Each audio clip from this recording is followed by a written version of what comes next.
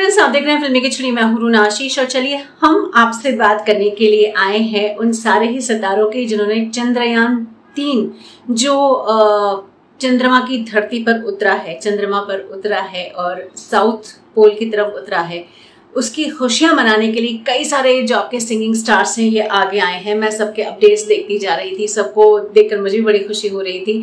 भाई बधाई तो सबसे पहले हम सभी के लिए कि हमारे देश का तिरंगा अब चंद्रयान तीन पर सवार होकर चंद्रमा की धरती पर पहुँच चुका है, यानी चाँद पर तिरंगा होगा। आह, ये तो इमेजिन करते से ही इतना अच्छा लगता है कि गूज बम्स ऑफ़ हैप्पीनेस बहुत बड़ी उपलब्धि है। उसके लिए इसरो को ढेर सारा धन्यवाद। उसके लिए उस सरकारी महकमे को ढेर सारा धन्यवाद, जिसके जिसे बोलते हैं राजनीतिक इच्छा शक्ति के चलते ये कदम उठाया जा सका। ऐसा नहीं है कि विफलताओं का सामना नहीं किया था, लेकिन फिर भी विफलताओं का सामना करने के बावजूद भी जो आगे बढ़ता है, वही तो इसरो है, वही तो हमारा देश है, और वही तो चंद्रयान तीन है।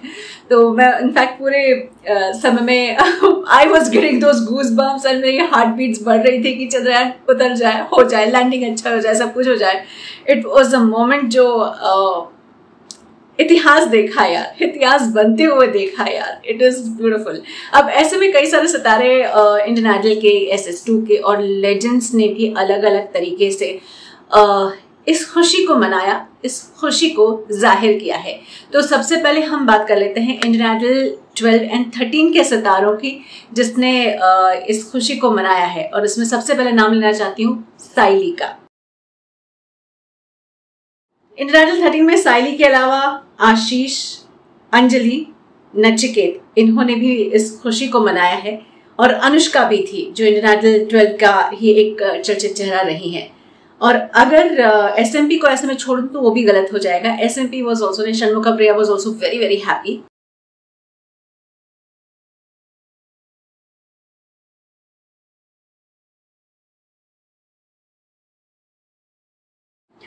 अब बात करती हूँ आपके इंडियन आइडल थर्टीन की, जिसमें कि चिराग सेंजुति और शिवम ने इस खुशी को मनाया है और उन्होंने अपनी इंस्टा पर पिक्चर्स अपलोड किए हैं और खुशी को ज़ाहिर किया है।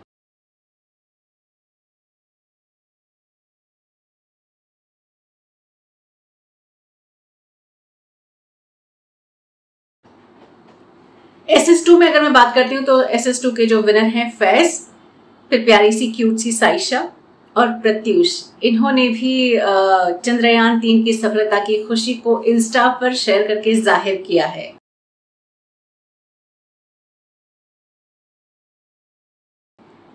और अगर लेजेंड्स की बात करती हूँ, जो बड़े बड़े लोग रहे हैं film industry and music industry में अपना नाम कर चुके हैं तो सबसे पहले तो मैं आशा जी का ही नाम लेना चाहूँगी। I really love Asha ji. And Asha ji ने जो पिक्चर शेयर किया है, उसके साथ ही अपनी बहन लता जी को याद किया है और यू नो पीछे गाना चल रहा है, ए, मेरे वतन के लोगों। अ कॉम्बिनेशन यार। आई मीन चाँद पर वो गाना है ना आओ तुम्हें चाँद पे ले जाए या फिर चंदा मामा। लता जी को चाँद, चंद्रयान तीन से कनेक्ट करना सच में एक बहुत out of the world feeling थी। ओके. उसके बाद लेजेंड्स में ही मैं नाम लेना चाहूँगी सोनू निगम का जो हाल फ़िलहाल तो अटलांटा में है लेकिन वहाँ से भी अपने देश को प्यार भेजना नहीं भूल रहे हैं वहाँ पे भी फख्र है अपने देश पर। शंकर की बात कहूँ तो कहने के लिए वो भी आउट ऑफ़ इंडिया है लेकिन वो इस विदेशी धरती पर भी देश की धरती को प्यार भेज रहे हैं। एंड uh, सलीम की अगर मैं बात करती हूँ तो चकदे वाला गाना लगा के सलीम ने भी अपनी खुशी ज़ाहिर की है। लेकिन जो पिक्चर्स विशाल ने शेयर की है, उनकी तो बात ही अलग है। कहीं टी शर्ट चंद्रयान और इसरो का तो कहीं पिक्चर एपीजे कलाम साहब का। वाह भाई विशाल, मज़ा आ गया आपके अपडेट्स देखकर। इन लोगों के मैंने खुद ने अपने आँखों से देखे हैं। इसके अलावा आई एम श्योर कई सारे लोग और भी होंगे। तो आप कहते हैं ना, खुशियाँ बांटने से बढ़ती है। तो आपने भी अगर किसी का ऑब्ज़र्व किया तो सेंड इट टू मी मैं वो भी अपनी अगली स्टोरी में अपडेट कर दूँगी। जय हिंद।